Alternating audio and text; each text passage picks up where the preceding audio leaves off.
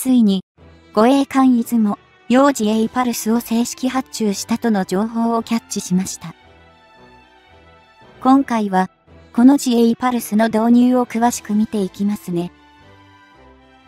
護衛艦加賀も、艦首が四角に魔改造され、着々と F35B 戦闘機艦載に向け、急ピッチで計画が進んでいます。曲げ島も建設を急ピッチで行っていますよね。中国はかなり恐れているでしょう。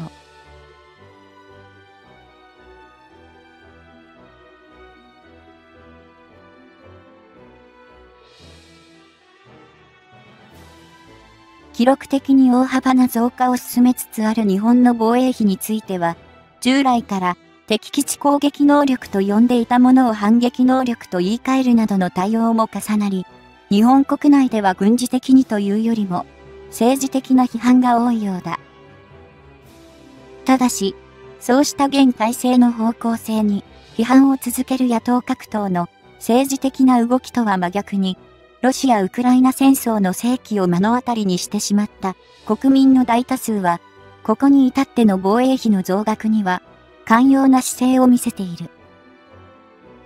その一方で、2023年度分から段階的に増加が進められる予定の防衛費は、現岸田政権からすれば、最終的には、その不足分の補填に増税を伴うことも示唆しているため、その部分については、見直しを図るべきとの声も聞こえている。確かに、今後の5年ほどで、今の倍にも達する防衛予算を捻出することは、非常に難しい財政上のやりくりが必要となることは想像できるが、安易な増税は、新型コロナウイルス後の日本の経済には、かなりのダメージも与えかねない。ただ、それでも、ロシアの脅威を身近に感じているポーランドなどでは、地続きの大陸国家という地理的な要因も相まって陸上兵力を現行の倍以上に高める施策を打ち出しており、日本とは危機感のレベルの違いを実感させられる。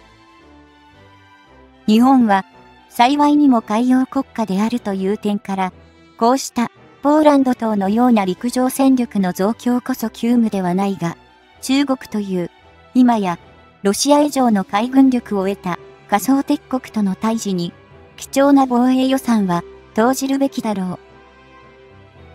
そうした状況下で、海上自衛隊の主要な装備の体制は、護衛艦54隻、潜水艦22隻、哨戒艦12隻という数値が掲げられており、一見すると、これまでと比して新艦級である、哨戒艦というものが増加したのみにも感じられる。確かに、潜水艦の22隻体制は、昨年2022年3月に、新型の大芸型のネームシップにして、一番艦の大芸が収益したことで、達成された時点と表面的には変わらないが、今年以降も、毎年大芸型が一隻ずつ増加していく。それによって、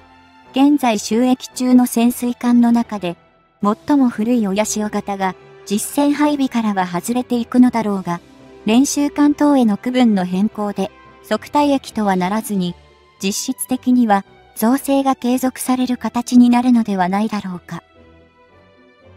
また、護衛艦54隻という中身についても、イージス護衛艦は8隻から10隻へと2隻増が盛り込まれており、イージス・アショアの代替分となるイージスシステム搭載艦は、これらとベッドに2隻を新造することが決定している。これによって、イージスシステムを完備する艦艇の数は、最終的には12隻へと増加することを意味しており、現在の8隻から考えれば、1.5倍増となることが確定しているわけで、確実に強化が図られていると言ってよいだろう。そして、護衛艦の中では、現在は、ヘリコプター搭載護衛艦、艦式号、DDH と呼ばれている出雲、型の、出雲、加賀の2隻が、F35 ライトニング 2B 型を運用可能な航空母艦化改修を進めていることも大きい。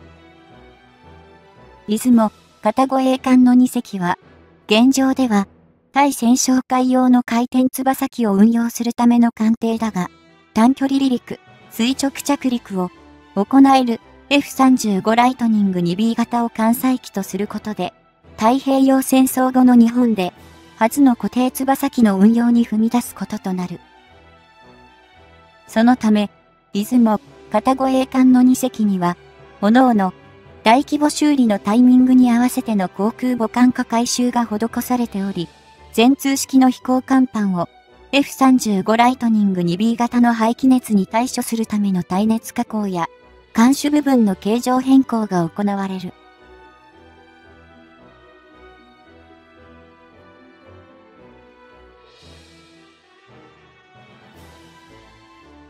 元々の出雲、片護衛艦の飛行甲板の先端部分は、上から見た場合には、先が細くなっている台形状であったが、これを克服して四角形へと変更することで、飛行甲板上の中期スペースと発艦の動線の確保の両方をカバーすることとなる。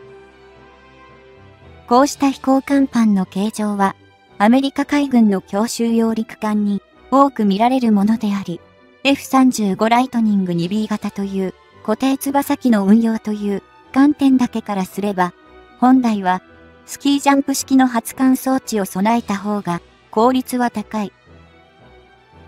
イギリス海軍のクイーンエリザベス級航空母艦の2隻は、そのため、 STOBAR、Short Take Off But Arrested Recovery と故障される方式で、F35 ライトニング 2B 型の運用能力を最大に高める形をとっている。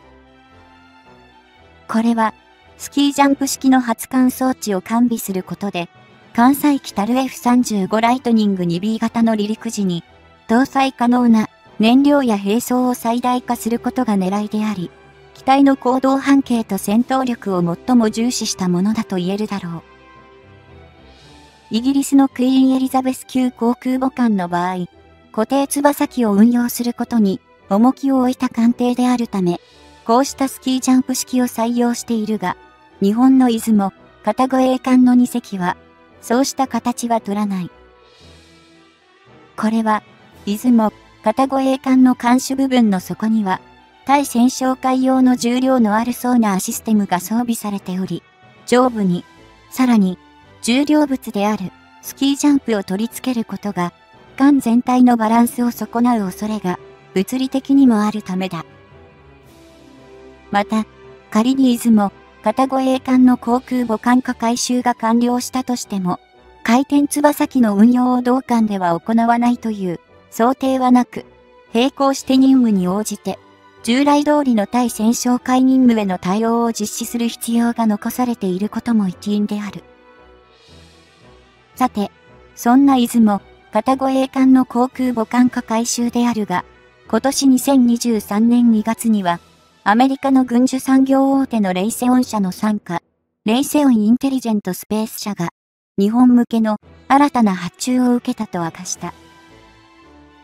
今回レイセオンインテリジェントスペース社が明らかにしたのは、新たな日本への対外優勝軍事援助であり、対象ハジエイパルス、ジョイントプレセ、ションアプローチランディングシステムという装置だ。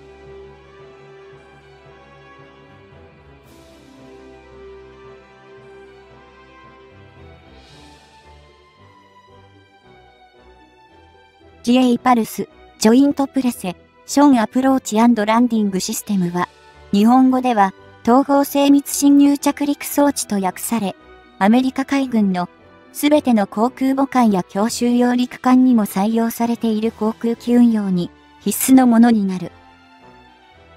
これは GPS 誘導を用いた航空機の安全な着艦をサポートするシステムであり、航天時などの悪環境下でも、艦載機の運用を可能とする仕組みで、F35 ライトニング 2B 型は、もともと同システムで運用されることが前提となっている。そのため、アメリカ海軍の艦艇だけでなく、前述したイギリス海軍のクイーンエリザベス級航空母艦や、イタリア海軍の軽空母であるカブール等の F35 ライトニング 2B 型を艦載機とする艦艇に必須のシステムとなっている。すでに2022年度の防衛予算案の時点で、この GA パルス、ジョイントプレセ、ションアプローチランディングシステムに関して、およそ36億円の確保がなされており、今回の件も、これに基づく、出雲、用の正式発注と考えられる。そのため、来年以降の防衛に、予算において、2番艦の、加賀、用に、同様の発注が行われることが予想されており、太平洋戦争後初の固定翼機運用に向けた準備は、予算的、物理的にも、着々とステップを踏んでいることが伺える。今や、出雲、片護衛艦の航空母艦回収は、すっかり、日本の中では認知されたと思われるが、世界的に見ても、その規模に、大小は、あれど航空母艦とされる艦艇を保有している国は、8カ国に限られ、日本は9番目となる見込みだ。現在、航空母艦の保有国とされているのは、アメリカを筆頭に、イギリス、フランス、イタリア、ロシア、中国、インド、タイだが、タイのチャクリ・ナルエベトは、固定翼機の運用を2006年に中止しており、再開の予定もなさそうだ。